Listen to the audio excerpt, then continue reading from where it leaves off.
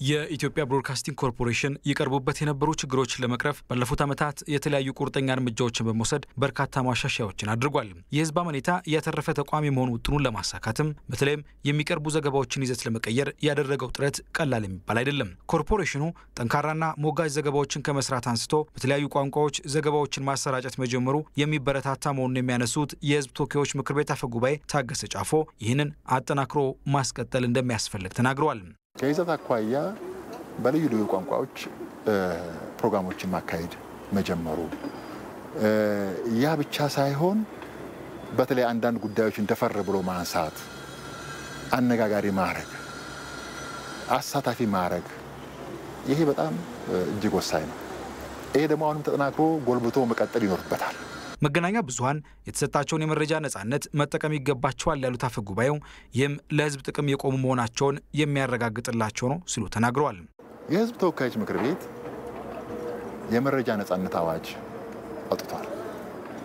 ይህ የመረጃ ነጻነት አዋጅ መረጃን ሚዲያዎች የሚፈለገው ቦታ ላይ ገብተው የመንግስት ባለስልጣን ይሁን ማን ይሁን ገብተው መጠየቅ እንዲችሉ በአዋጁ የተከለከሉ ጉዳዮች ካልሆኑ በስተቀር ለሕዝብ ግልጽ እንዲያደርጉ ያስገድዳል።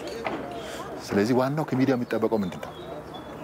ከሚዲያ የሚጠበቀው ሚዛናዊ መሆኑ ነው፣ ሙያዊ መሆኑ ነው፣ የሙያውን ስነ ምግባር ጠብቆ መስራቱ ነው። የህዝብ ተወካዮች ምክር ቤት የሚፈልገው ያን ነው። ሙያዊ ስነ ምግባሩን ጠብቆ ለህዝብ በሚጠቅም ህዝብን ስለሚወክል ይሄ ማለት አንድ ጉዳይ በሆነ ቦታ ላይ የተነሳ ጉዳይ አንስቶ የሚመለከተውን አካልም ጠይቆ በዛ መሀል ያለውን ጉድለት አንስቶ አሳይቶ እንዲታረም አድርጎ ይሄ ለሀገር ግንባታ ለዴሞክራሲ ስርዓት ግንባታም የሀገር ግንባታ አካል ስለሆነ እጅግ እጅግ ወሳኝ ነው። የህዝብ ተወካዮች ምክር ቤት ለስራዎቻቸው እውቅና እንደሚሰጥና ድጋፍ እንደሚያደርግም አረጋግጠዋል። የህዝብ ተወካዮች ምክር ቤት ደግሞ እነዚህ ሚዲያዎችን የሚከታተል ራሱን የቻለ ቋሚ ኮሚቴ አለ። የዴሞክራሲ ተቋማት ክትትል የሚያደርግ ቋሚ ኮሚቴ አለ።